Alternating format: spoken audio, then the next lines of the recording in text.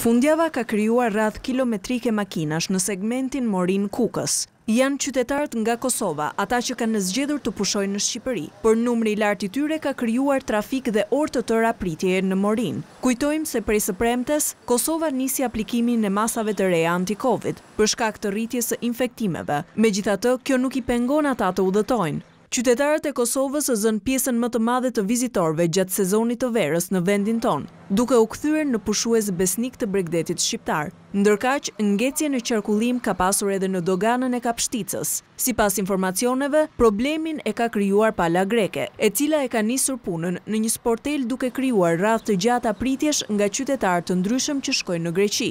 Aktualisht, situata është normalizuar. dhe radha është ulur në disa qindra metra, me automjetet që presin në varësi të procedurave që ndiqen për shkak të Covid nëntëmbëdhjetë. Të dyja palët aktualisht po punojnë me sportele maksimale.